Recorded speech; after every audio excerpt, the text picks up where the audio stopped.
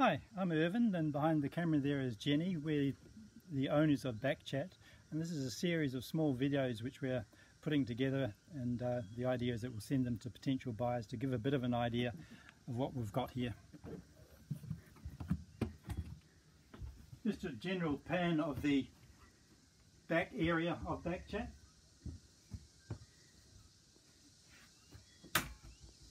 Moving on to the traveller system, as you can see it extends across the full width of the boat, a good six metres I'd imagine. We've got the double locking system here and the line which goes onto the smaller of the two winches. We can then winch the traveller in any direction and use the lock-offs to hold it in that position.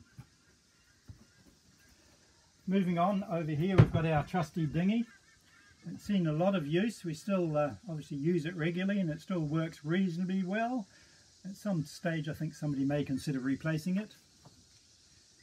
worth pointing out though at this stage is the the um, hoist system that we've got here. As you can see these two ropes go up inside, into the targa bar where there's a series of um, pulleys.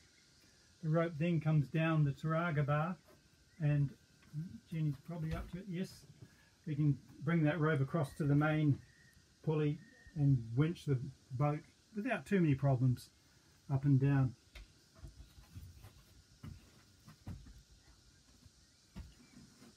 Next area of interest is the helm area.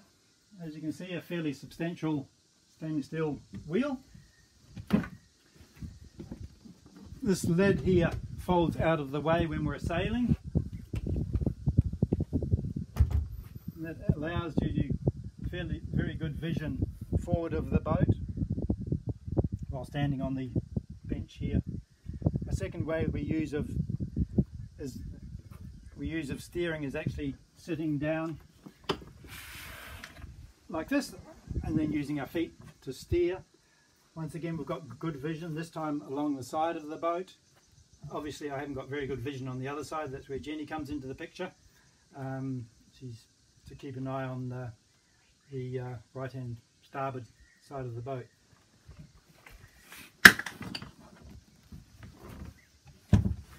Moving on to the instrumentation, probably fairly self-explanatory.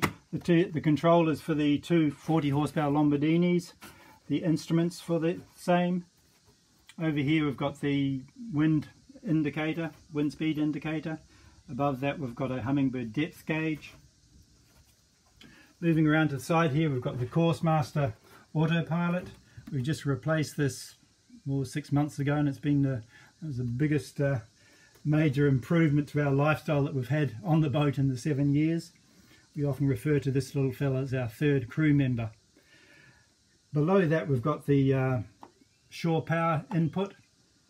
Worth mentioning about the autopilot is the positioning here that if necessary you can actually control it from inside here, putting your hand through from the inside and making the adjustments in direction there. Uh, storage area in this back area.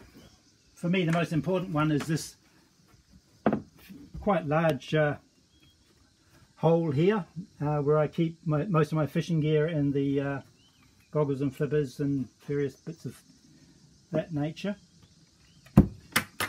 On both sides we've got these areas where I, on this side I've got the uh, petrol for the dinghy. On the other side actually we've got the same, also more petrol. Here we've got, well we don't actually use them, they tend to accumulate junk more than anything else, but obviously I can open one to give you a bit of an idea of the depth. Fairly small but uh, they good for ropes and such like. Going back one step, this is where the LPG is uh, stored. We've got a 9 kilo bottle and then the 2 kilo bottle in the corner there. Moving up to our laundry area, this uh, table here moves out of the way and that then gives access to our small twin tub washing machine. Uh, it's one of Jenny's favourites uh, on the boat. Um, yeah, she, she's um, we use it regularly. It's not actually fixed down permanently here and it's quite a light machine so it would be quite simple to move it to another position on the boat if you should so desire. Um, we haven't found a better position for it and so we've we tend to leave it here permanently.